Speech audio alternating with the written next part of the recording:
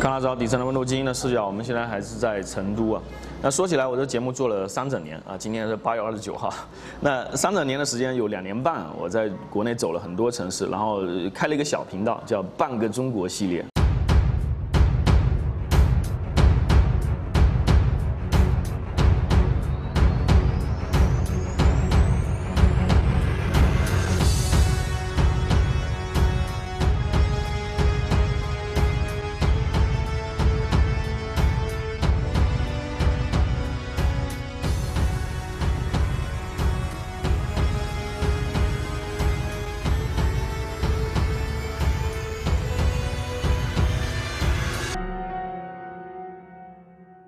半个中国实际上呢，我走的地方，呃，是在中东部地区，就经济比较发达的地方。那中东部地区经济比较发达的地方，其实啊，这里我就说到，给大家介绍一个概念，叫内地。啊，什么是内地呢？我们以前在港片里面听过啊，就是内陆、内地有这种叫叫法，叫女性甚至有点蔑称叫北姑啊，内地。但实际上呢，不光香港，有很多国内的一些其他地方也叫，也有内地这种说法，比如说拉萨。啊，我前两年去了一次，它也叫这边叫内地。比如说三亚，我上个月还去了三亚。那三亚，包括整个海南地区，它也叫这边叫内地。那内地是一个什么概念呢？我觉得这可能呢，跟中国过去以经济中心、以经济建设为中心这个有关系。那以经济建设为中心嘛，那什么是内地？就是最核心的区块、最繁荣的地方。那在哪里呢？当然就是从北京开始，沿着中国的东南沿海，沿着中国的。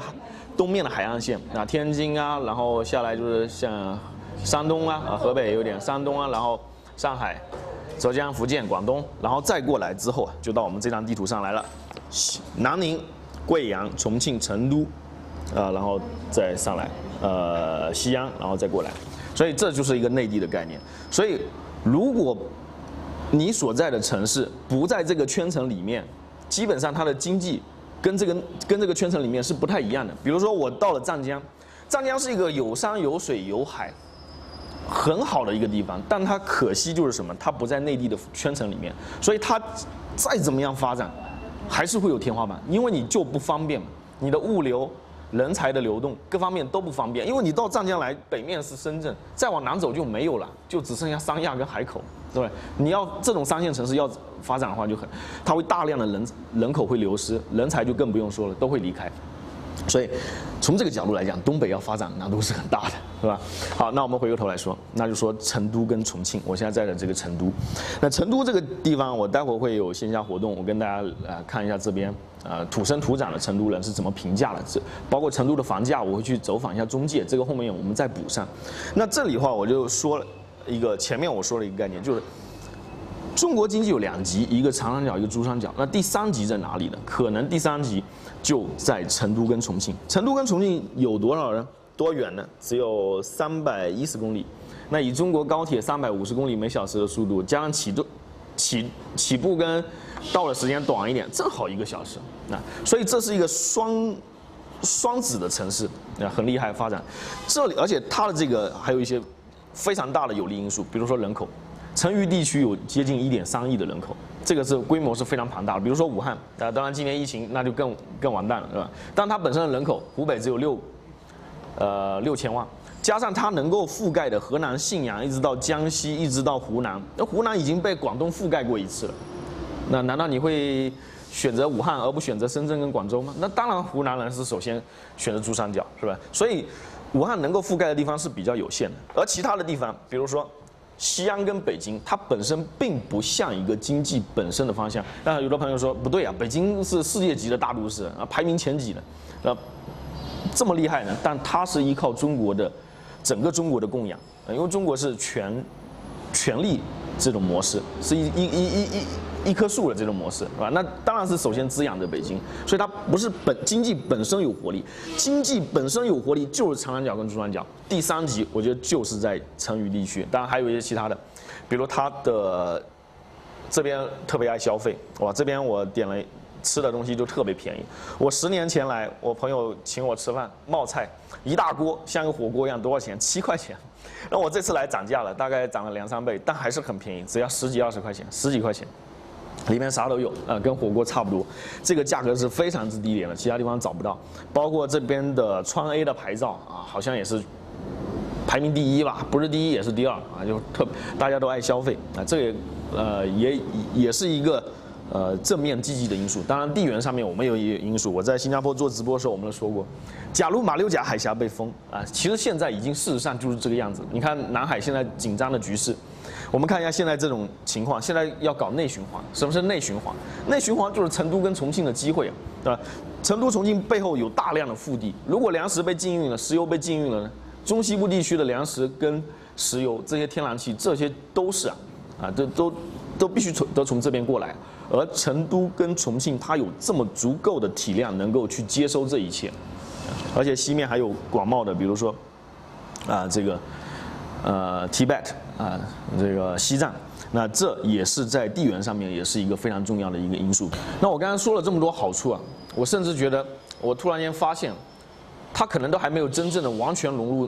刚刚我们说了内地这个概念，还没有完完全融入这这里面。比如我们都知道。呃，川菜跟粤菜是中国最有名的两个菜系啊。这是说起来，呃，川菜麻辣著称，这个粤菜是以营养原味著称。那粤语跟四川话在中国的影响力也是非常之庞大。一个一方面是人口啊数量庞大，都是过亿的人口啊，甚至粤语还有海外的人口。那还有一个因素就是。呃，什么呢？他们自成一体的这种方式，因为饮食跟语言是非常重要的两个方面，对吧？但我们现在到广州，我前两个月还去了一趟，现在基本上都说普通话，很少粤语也可以听到，也蛮多，相比其他地方也很多，嗯。但是，如果你相比成都跟重庆来说，那就不算什么，因为我在这里。基本上，我我估计三十五岁以上人可能不太会说普通话，以至于有一个有一个词叫“川普”，哎，就是美国总统的那个川普，就川式的普通话，因为他这个普通话离川离离离离这个四川话就离得本身也不远，于是他就混不清楚，啊，特别是没有长时间进行语言训练的人，受教育程度不是说那么高，语言训训练不充足的人。他就搞不清楚，于是就有一个词叫“川普”，就是你这个搞不清楚到底是普通话还是四川话，就是处在一种模糊的中间地带。但是粤语跟嗯普通话差异很大啊，那也也也也可以叫粤普吧。但是这里可以逐可以看，逐渐可以看到，实际上成渝地区。还有巨大的开发空间，因为它普通话还没有完全普及呢，是吧？但不能叫没有普及，它本身也可以交流啊。我来交流也没啥问题，只不过要听得认真一点。这只是说我从这个语言方面来判断，实际上成渝地区还大有可为，融入更加融入了这个内地圈层里面。好了，我们这个片段我就到成都的街头来走一走，那就像成都那首歌里面唱的那样，那到成都的街头走一走。那前面那个片段在偷懒了，同事去春春熙路拍的景。那二线城市啊，成都当然是，呃，我们看这些位置其实是很偏的。然后我们看到二线城市这前面的这个高架桥，啊，这么比较偏的位置有这么大的高架桥，这很明显的典型的二线城市。三线城市就难得有啊，就少。所以我们这个片段就说一下这个成都的经济远期发展。呃，包括一些其他方面的，比如气候啊啥的问题，我就结合一下这来来的这几天，包括昨天晚上，呃，有线下的这个活动，跟呃好好多位在成都生活了呃一二十年、二三十年的老居民聊的，呃年轻人聊的。就是我们首先说大一点，那接着刚才的这个内地的这个概念来说，就我在国内走了差不多都有二十个二线城市了吧，差不多都覆盖过去了。呃，最著名的城市可能就苏州没没去过，但其他城市我差不多都去过。那我们先说房价吧，经济方面，在这么多二线城市里面，成都的房价可以说是非常之亲民的，你不要去死拼非常好的位置，基本上一万多两万块钱之内肯定可以解决，一万多块钱就能解决。而且不用太偏，但你想一下厦门的房价都有多高？你到岛外很偏的位置都得一万多块钱，那有啥意义啊？对不对？那其他的就连武汉的房价都比这里要高，啊，还有包括像南京也要比这里高。但是在经济活力上面，我觉得肯定是不如这里。人口这么庞大，呃，西南重镇，我们我我说了还是中国经济未来的第三级，所以我觉得二线城市如果说非要说投资的话，可能房价上面成都可能机会还更大一些。包括重庆也机会也蛮大。那说到活力预期这个概念，城市里面有一个例子很好，就我们现在，呃，我经常我会说北上深，很少提广州。包括很多呃经济学家，包括就我们看了一般报纸，广州的这个出镜率越来越低了。就就它是在走下坡路。这个其实个人、公司、呃城市、国家，你走下坡路，给人感觉就非常不爽，啊，他就感觉到好像活力没有那么强。比如说老广一直说了，以前投资说一个铺养三代人，但这个就过于保守了。在中国经济高速成长的时候，你就死死守的铺子，你可以换嘛。我今天这买这个铺子，明天换一个铺子，但是它没有这么强烈的这种。呃，往往前走的这个意识，包括广州可能在贸易的这个问题，呃，已经出现了转换。以前是这种集装箱式的这种贸易，广交会的这种式的贸易，那现在变成阿里巴巴这种呃包裹式的贸易。那这种贸易方式已经变化了，然后广州这一块的影响力基本上被杭州抢完了。那这样的话，就是相当于成你一旦走了下坡路，给人感觉就不好。但是成都、重庆这样的给人感觉它是在走上坡路的。而且这个对比啊，其实我们可以再深入一点，还更有意思。比如说。广州其实，在很长时间里面，包括香港，特别拒绝普通话。你好像说普通话的话，就是把整个地方文化都给摧残掉了。但是成都好像没有这么强的概念。虽然说他们这边现在的现实情况是，广州已经都说普通话了这两年，但是中间有好几年是非常挣扎的。呃，他觉得政府在强力的推进，是是一种文化，像文化清算一样，就搞了，挣扎了好多年，最后还是。还是打开双臂迎接，但是成都这边好像没有这个概念，就是四川话。哎呀，如果你想跟我说普通话，我就跟你说普通话，我就是这样感觉，就是来来这么天，呃呃，这边的呃包括店员啊，普通打交道都是这个样子。但是因为啊，广州以前经济是非常强的，大家都依赖广州，但是所以这样的话，他也比较排斥。但是这边的话他本身就很弱呀。我愿意接受普通话呀，所以这也是什么？它未来前景还非常的大，因为大家还在说四川话呀。什么意思？广州都已经开始那么拒绝，都已经开始说普通话了。这边这么拥抱普通话，但大家还在说四川话，什么意思？现在它特别有活力，它要去迎接内拥抱内地的经济。现在内地还来不及去拥抱它，但是现在机会来了，内循环了嘛，对不对？你往东面去出不去，东面都是海，被第一岛链锁住了。美国天天在外在在第一岛链游来游去呢。所以，现在正是成都、重庆重新回到，不是重新回到，努力张开双臂迎接这个内地经济的时候，变成经济第三级的时候，让自己的这个，比如说四川话迅速的变成，呃，普通话啊，然后更好的拥抱。其实说四川话也能听懂，但是还是不一样，还是要往这方面走得更深远一点。所以这个对比啊，其其实也蛮有意思，因为什么呢？其实广州跟这边。有时候还有一个吃的问题也很好对比啊，吃的我可以稍微总结一下，呃，广州的话就是很比较清淡，呃，比较讲究营养，比较讲究食材，这个的话我觉得也是富裕的表现。有钱时间长了，当然讲究食，呃，这个呃健康，但这边的话还是冲着一个味道啊，要这个味道。但我觉得这跟气候也有关系。你说这种冬天不是特别冷的情况下，你开空调有点浪费，也没那个必要。呃，没有下雪，其实吃个火锅，呃，就能抵御寒冷了。呃，喝点酒，吃个火锅就能抵御寒冷。那当然了，这个川菜、粤菜，大家可能很多人朋友都比我更熟，我就绕过去。那还有就是，为什么呃突然间把广州给拉出来？因为现在国内很多二线城市啊，它开始竞争所国内所谓第四城的概念。实际上现在来看，目前来看啊，不说远期，广州永远绝对是第三、第四，应该说第四应该是没有问题的。但是你要一旦说到预期，未来十年。未来二十年，广州能不能真的保住第四？我觉得这个还真的不好说。所以，像杭州、像成都，它可能全面指标是赶不上广州的。但是在某些地方，比如说货运吞客流客运的吞吐量上面，呃，有一些地方它就想要去争夺一个第四名，因为深圳很小，对吧？你有时候广州上来了，第第四名都空缺出来了，可以把深圳都压下去。但这个话，你要想全面超越，我觉得目前来讲，包括杭州，包括南京就不用说了。包括杭州，包括像成都，还需要大量的时间才能真正变成所谓的第四城，超过广州。啊，那我们刚刚说了这么多好话，也有点说一点不好的。就我刚刚说这个活力啊、预期啊，这也有一个问题。那表示以后你可能有机会。那现在怎么样呢？现实的情况是什么样的？那为什么现在房价只有一万多、两万呢？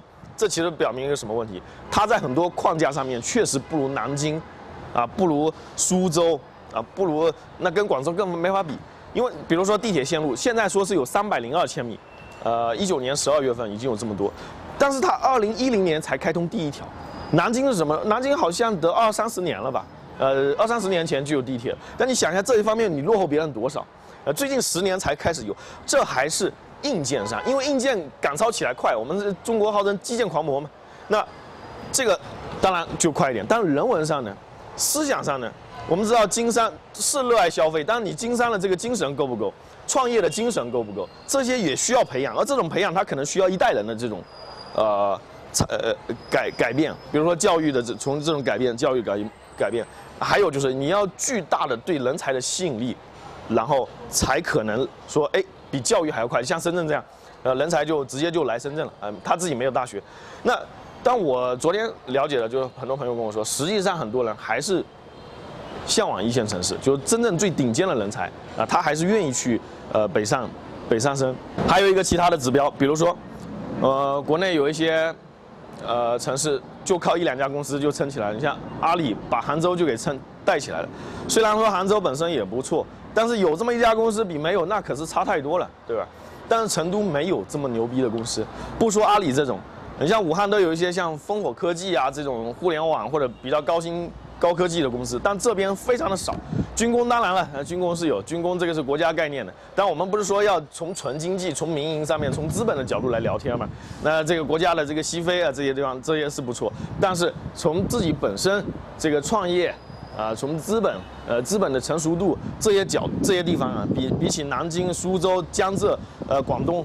包括福建，甚至啊都要差蛮多啊！现在这还只只只是知道花钱买车，买个几百万辆，买个三百多万辆车在家里开着，但是你要会挣钱的，要会挣大钱的，是吧？现在是呃呃互联网呃是高科技的这个时代，那要有这样的企业，能够把这个城市更好的撑起来，吸引更多的人才呃留在成留在成都，呃加入成都啊。那在一个底子比较薄弱、预期比较好的情况下，时代现在也给了。一个很大的机遇，就国内内循环的提法肯定不是短时间的，肯定是一个长时间的。中美对抗一定是一个长达几十年的。我想美国要想一剑封喉，现在是不不太可能的。你除非只打军事牌，打科技牌也不可能把中国一剑封喉。那，呃，中国就得往其他的内循环，往呃往中西部寻找更，甚至从资源角度都要自己去想办法。有万一哪一天。呃，马六甲被封了呢，对吧？自己都都有想办法，所以，呃，这个时候就看成都能不能很好的从政府到民间啊，能不能迅速的学习中东部很多的先进经验。当然，现在你想学海外的经验，估计别人也不让你学。你想跟 IBM 合作，别人不跟你合作，对吧？那但是你跟去上海讨经验呢？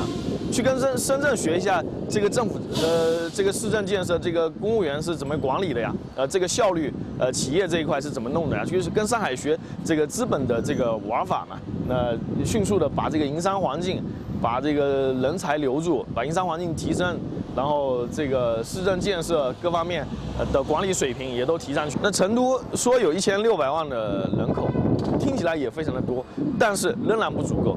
我们看一下这个日本东京，它的人口富集程度，一个首都一个城市以及周边，大概得占日本四分之一的人口，这还是一个城市。那在一个省里面来说，那应该富集程度更高。那咱们就拿百分之二十五来说，那也得两千五百万啊，接近两千五百万。那所以说这里从城市化、城市规模角度来讲，这些都可可能的，呃，在后面都会有一个剧烈、巨量的爆发。那这些呃都是成都的机会啊，那我们就祝福成都。成都人民，成都的发展。